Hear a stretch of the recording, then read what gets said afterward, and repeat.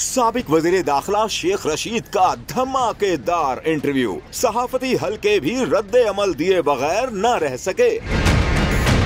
शेख रशीद के फरमाइशी इंटरव्यू पर मंसूर अली खान को दुख भरा शेर याद आया। रऊफ क्लासरा ने आर्मी चीफ को अवामी सियासतदान से सीखने का मशवरा दिया। शिफा यूसुफ जई और मलिहा हाशमी ने तंज के तीर चलाए, जबकि आरिफ हमीद भट्टी ने अच्छे खासे संजीदा इंटरव्यू को लतीफे से जोड़कर सारा सियासी मज़ा ही किरकिरा कर दिया।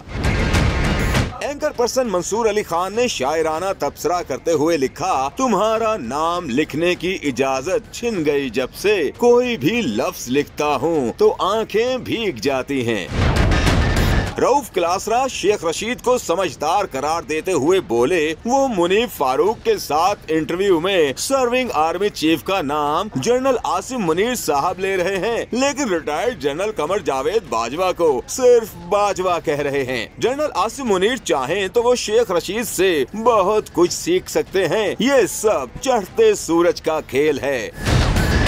खातून एंकर शिफा यूसुफ जई ने सबक वज़ीर दाखिला के इंटरव्यू पर तंजिया तबसरा करते हुए कहा, शेख रशीद अहमद को इंतबात लड़ने की क्लियरेंस मिल गई है।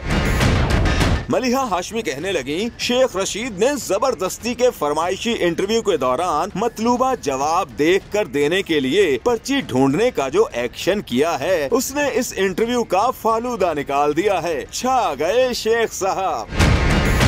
सीनियर सहाफी आरिफ हमीद भट्टी ने शेख रशीद के इंटरव्यू को लतीफे से जोड़ते हुए तबसरा किया। एक शख्स ने कहा, मुझे मशहूर होने का शौक है। मीडिया में लाइव कवरेज चाहता हूँ। अचानक दूसरा बोला, आप खुद की पीटीआई से वाबस्तगी ज़ाहिर करें। आपकी प्रेस कॉन्फ्रेंस या इंटरव्यू खुद ही हर तरफ़ लाइव नशर होना शुरू हो जाएगा।